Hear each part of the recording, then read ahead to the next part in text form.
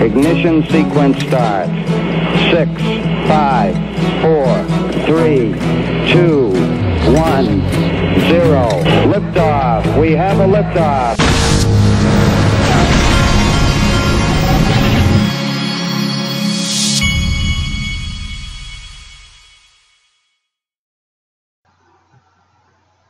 Hey everybody, this is the Digital Asset Investor. I wanted to start off this video by showing you, um, I'm not going to show the video, but I'll just give you a brief description of what's being talked about. This is from uh, at XRP underscore veteran. Um, he posted this short clip kind of in the Stephen Dieppe fashion. Um, he posted this, and this is Christine Lagarde. I believe it's over there in Davos at the World Economic Forum is probably where this is from and it's just a very short video that you should go watch. But this is one of the most powerful people in finance across the world, um, and she, she runs the IMF. And so, and, and one thing that's been a constant is that she has been very interested in everyone being open-minded to digital currencies, and that's what this short clip is about.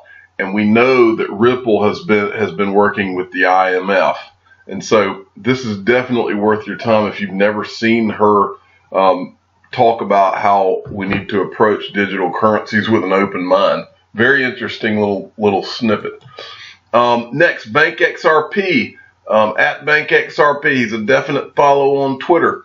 Future success of digital assets will be driven by each asset's use case and regulatory clarity. We don't need thousands of coins. Each must have a legitimate reason for existing. Eric Van Miltenburg's, uh, he's in the center. He's an SVP of global operations at Ripple. This was at uh, Binance. I think Binance held their conference in Singapore. And he's basically talking about uh, what I, I kind of believe too. No utility, no value. And so I think you'll see thousands of these digital assets go to zero, and you'll be left with a handful that have actual use case, and you'll see companies born out of uh, you know companies that are born to that want to create real use case with their digital assets.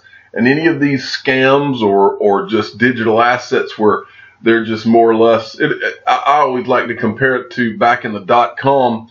You would have some companies that would there was no company, but they would buy a domain name uh, that had a dot .com on the end of it, and all of a sudden they tried to act like they were a legitimate business when they were not. Well, this is really has such parallels to that because now you have people trying to issue digital assets, create tokens out of thin air, cash, make the money, and cash, and just get out and disappear. A lot of them, and so it's the same type of thing.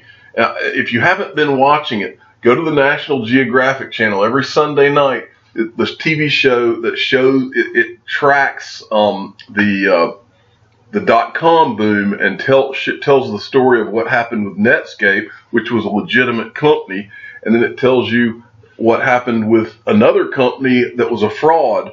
But it illustrates the point. I don't care what the boom is. Anytime there's a lot of money involved and people smell the money, you're going to have frauds show up and you're also going to have legitimate business businesses show up and unfortunately a lot of times the media will crisscross that and create the wrong impression which is that all of them are frauds and i think a lot of that has been done in uh, in uh, the digital asset realm but you don't have to spend more than about five minutes going around Ripple's website to realize that Ripple, of all the digital asset companies that exist. Ripple is the real deal Holyfield. Okay? Uh, Evander Holyfield is from Atlanta, Georgia, close by. So uh, that's a little saying that I picked up growing up around here. Real deal Holyfield. Um, moving along, um, this is from BondCrypt XRP. Uh, Ripple and XRP will take over the U.S. and the world one step at a time, disrupting the payments industry. This was a um, an AMB crypto article. There are so many so many things tied together in this article that I need to read you a decent amount of it so that you really understand just how huge what we are a part of in owning XRP is. This is this article is one of the better articles I've seen in a while that really lays out some of the connections and all of the, the awesome things that Ripple has going. And remember, for XRP, Ripple is addressing one use case. Ripple, the company, is addressing one use or two payments companies and settlement, but one use case more or less with is what Ripple's working on. That doesn't that doesn't include the literally thousands of use cases that are going on or to come, like Coil and other use cases. Doesn't even include that. So listen to this. This is just what Ripple is working on. Ripple announced that it, is, it has crossed more than 200 par partnerships with financial institutions, banks across 40 countries worldwide. The seemingly random partnerships that Ripple has been making is not so random once you step back and take a look at the bigger picture. Partnered with D&H Corporation, a leading provider of technolo technology solutions to financial institutions globally, on October 11, 2015.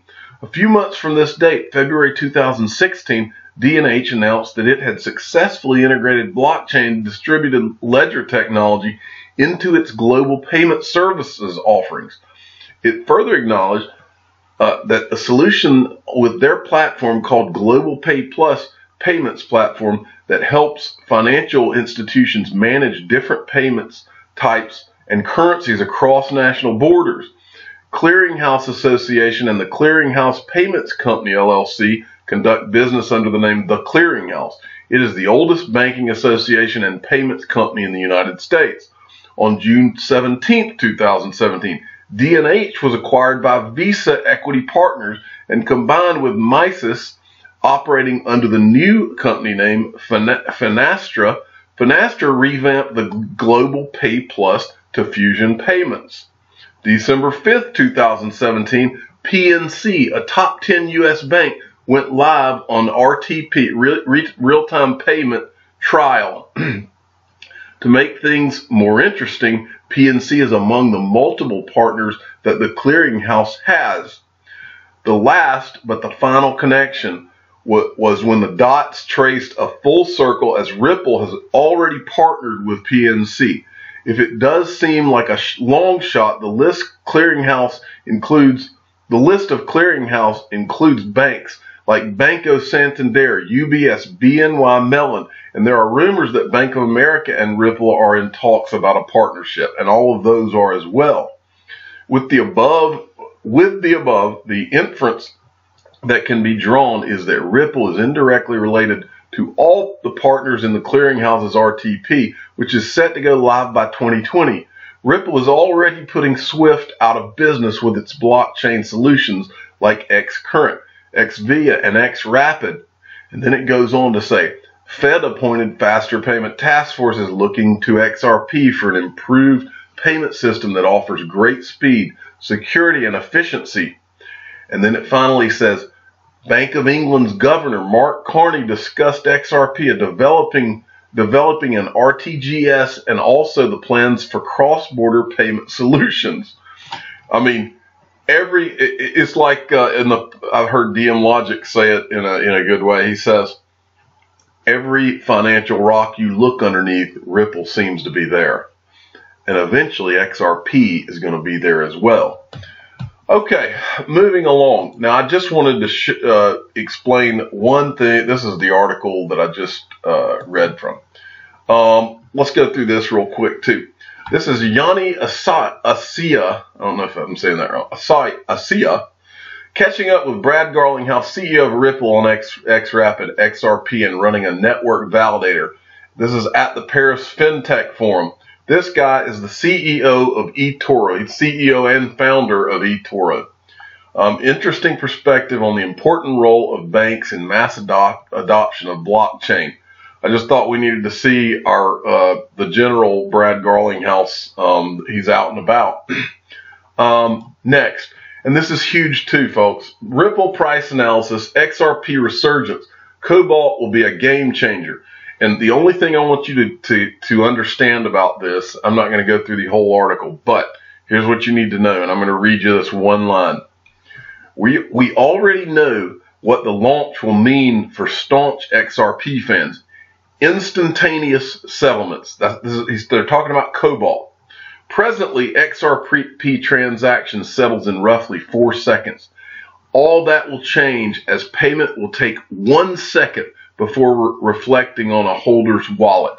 In other words, this Cobalt upgrade that's going on, when it when it happens, XRP will not just move in three to four seconds, it will move in one second, folks. That is a game changer. The world is about to change. And as XRP holders, our lives will change with it. Finally, I wanted to show you this. Cryptopia, Cryptopia, I told you about the hack a week or so ago. Cryptopia compromised in another attack by hackers, loses $180,000 worth of Ethereum. Do not leave your digital assets on these exchanges, folks. I will keep telling you that as long as I have this channel. Today, Ledger did a video that you need to go watch. The Ledger Nano S people. Um, you can see it on their um, you can see it on their Twitter feed at Ledger HQ. Um, they're giving you a sneak peek at how you can can uh, pair your the um, Ledger Nano X with Bluetooth with the software and the, the software on your on your phone. Um, and to go get the Ledger Nano X, you can go in the description of all of my videos, and you can also, if you just want to get a Ledger Nano S, they're like they're only like fifty nine dollars now.